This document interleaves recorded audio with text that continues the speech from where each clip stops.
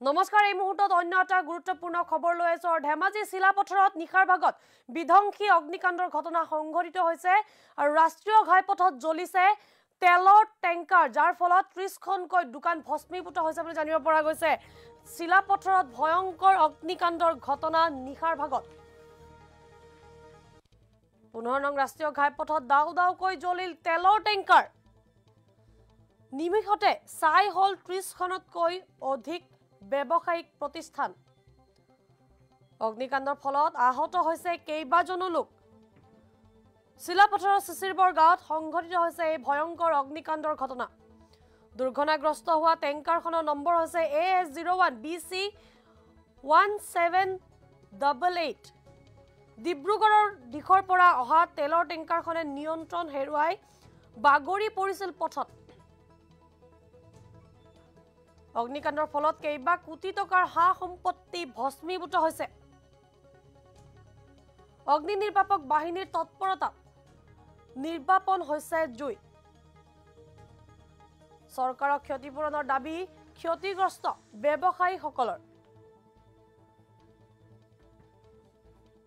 আপোনালোকে সেই দৃশ্য প্ৰত্যক্ষ কৰিছে এয়া হৈছে নিশাৰ ভাগত যি চিলাপথত বিধ্বংসী অগ্নিকাণ্ডৰ ঘটনা সংঘটিত হৈছিল তাৰে এয়া দৃশ্য।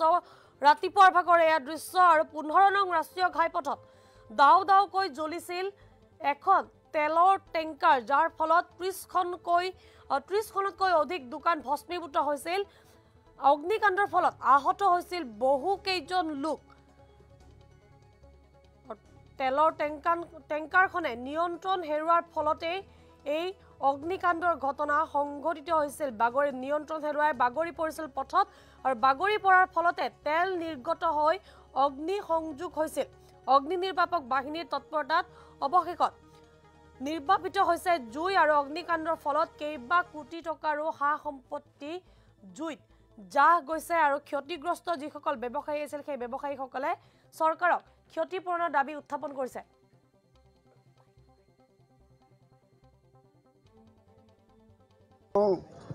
তিনিআলি অঁ চিচিব গাঁও তিনিআলি এ, ইয়াতে মানে চাৰে সাতটা সাতটা দহমানত অইল টেংকাৰ অইল টেংকাৰ এখন মানে এক্সিডেণ্ট হৈছে।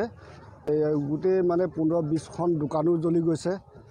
আৰু কিমান এতিয়া সা সম্পত্তি কিমান ক্ষয় ক্ষতি হৈছে মই বিশেষ নাজানো। আৰু জীৱনটো হানি হোৱা নাই। জীৱনটো মই জনাত মানে ড্ৰাইভাৰটো বোলে ইয়াৰ পৰা ওলাই ওলাই গৈছে। আৰু গাড়ীখন এনেকৈ পৰি আছে আৰু জুই জুই মানে বহুত সময়লৈকে জ্বলি থাকিলে আৰু জুই মানে ফায়াৰ ব্ৰিগেড গাড়ী আহি পিনি জুইখিনি নুমাই দিয়ে বহুত চেষ্টা। ড্ৰাইভাৰটো ওলাই পিনি ওলাই গৈছে বুলি শুনিছোঁ আৰু ৰাইজৰ মুখৰ পৰা।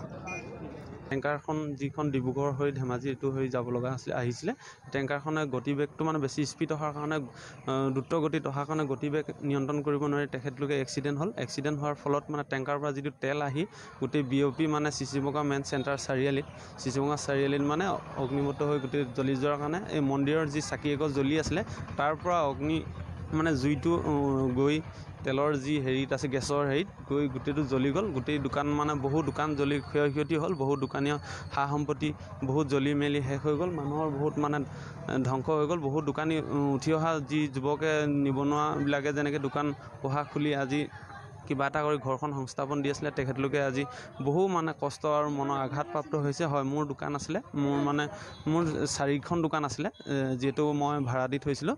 আৰু প্ৰকৃততে মানে চেলুন এখন আছিলে সকলোবিলাক মই সা সামগ্ৰী আনি দুজন নিবনুৱা মানে হেৰি স্বদেশী হয় কিন্তু হ'লেও বিদেশী হয় কিন্তু হ'লেও স্বদেশী হিচাপত থাকি থাকিলে বিহাৰী মানুহ দুজন আছিলে দোকানত চেলুন এখন খুলি দিছিলোঁ সম্পূৰ্ণৰূপে।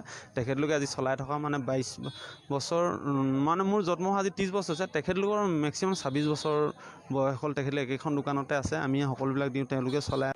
মানে মোৰ ক্ষতি বহুত টকা হৈছে বহুত পইচা মানে ক্ষতি হৈ গৈছে হিচাপটো এতিয়া ক'ব নোৱাৰিম সঠিককৈ কিন্তু বহুত টকা মানে ক্ষতি হৈছে।